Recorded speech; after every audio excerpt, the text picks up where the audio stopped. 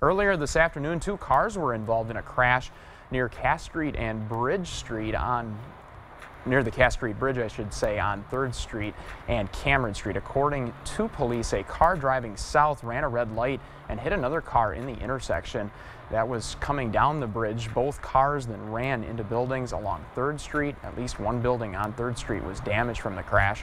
One of the drivers in the crash was taken to a local hospital with minor injuries. The incident is no longer under police investigation and the driver that caused the crash received a fine.